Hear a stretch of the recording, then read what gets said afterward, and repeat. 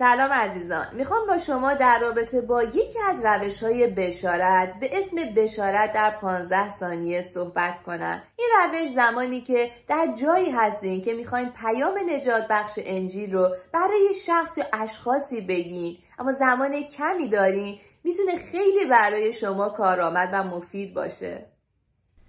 خب عزیزان الان می‌خوام در رابطه با این روش بشارت با شما صحبت کنم. اسم این روش بشارت هست. بشارت در 15 ثانیه.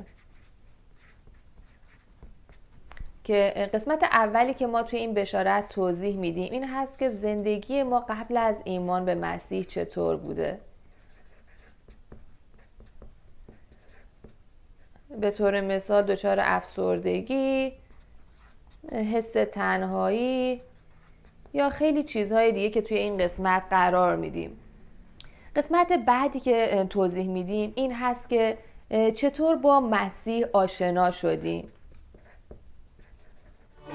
ای شبان اعظم گله خداوند عیسی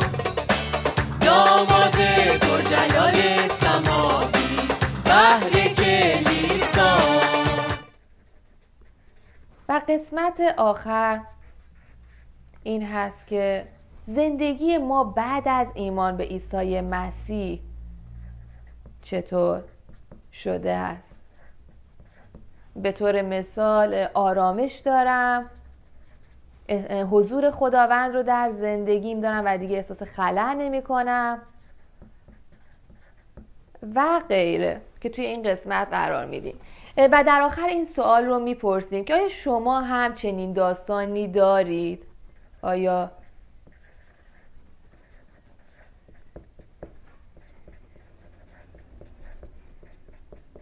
و با پرسیدن این سوال بشارت خودمون رو به اتمام میرسونیم. سلام دوست عزیز می‌خوام چند دقیقه کوتاه از وقتت رو به من بدی تا یک مسئله مهمی رو با تو در میون بذارم. در گذشته من درون خودم خیلی احساس ناآرومی، افسردگی، تنهایی و خلع می کردم. زندگی آشفته ای داشتم. از خداوند میپرسیدم که اصلا چرا من رو آفریدی؟ این زندگی چه هدفی داره؟ تا اینکه یک روزی که از دوستان من با یک کتاب مقدس کوچیک اومد دم خونه ما و راجع به عیسی مسیح با من صحبت کرد. اون به من گفت که خداوند چقدر من رو دوست داره. برای خداوند با ارزش هستم و برای تک تک ما هدف خاصی رو داره. من به عیسی مسیح ایمان آوردم و خداوند در من و زندگی من عمل کرد. حتی در شرایط سخت احساس تنهایی و ناارومی نمی کردم چون می دونستم که خداوند توی زندگی من حضور داره. آیا شما هم همچنین داستانی دارید؟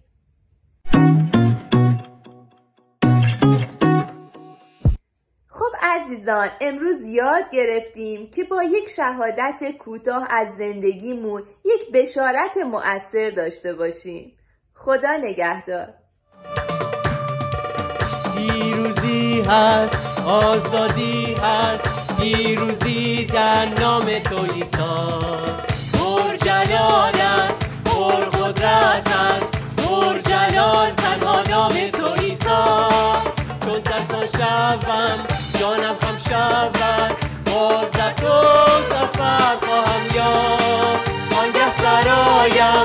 بازم سرایم. پیروزی هست در نام تو ایسا آنگه سرایم. بازم سرایم. پیروزی هست در نام تو ایسا آنگه سرایم. بازم سرایم. پیروزی هست در نام تو ایسا